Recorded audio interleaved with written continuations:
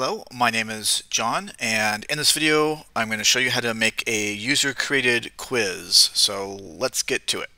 Now just about every screen that you have you'll see in the top middle portion four icons and those are from left to right the equity calculator, the hand creation chart icon, the ICM calculator and the quiz generator.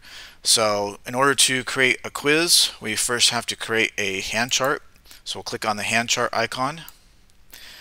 And depending on what kind of quiz I want to do, if I want to do just an open raising range or a mixture of calls and raises or three bets or four bets and so on, I use these buttons at the bottom to select hands. So if I was going to create, for example, let's say an open raising range from the button, I click on button as my position, click on raise, and then add whatever hands I would want to add there. And I can use the slider here just to um, slide over an overall percentage of my range and edit as I see fit.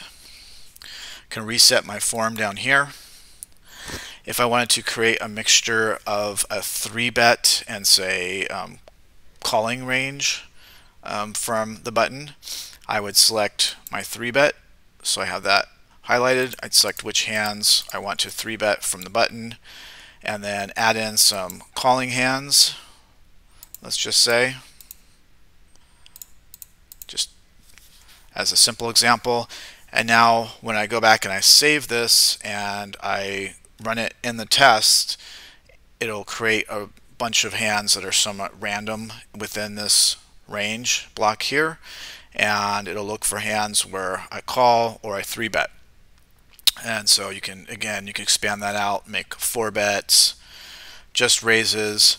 I'm going to do an example of a six max cash game, an open raising range from under the gun. So as you can see here, six max first position is low jack. So we have all our positions here from left to right. In a six max cash game, this low jack would essentially be under the gun, hijack, cutoff button, small blind, big blind.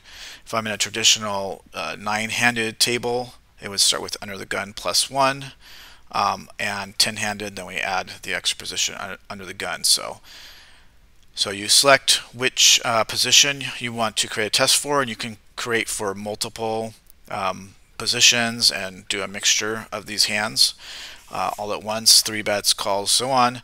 Um, just to simplify this test, I'm going to do an open raising range from low jack. So I'm going to again I'm going to click on push raise.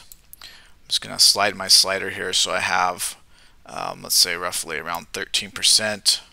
I'll edit some of these hands. Just remove them. Add a few others.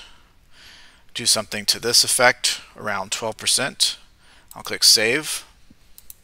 I'm going to say 6 max raise first in under the gun test. I save that. And now I'm going to go in to the test and I'll show you how to load that right now.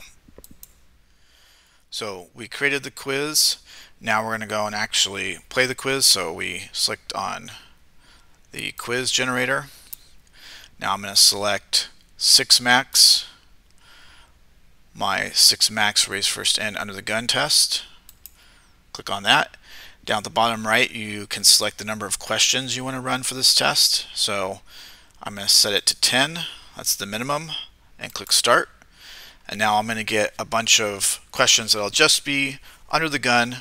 It'll give me a random set of hands that are within that range and include my hands. So here I did this as fold.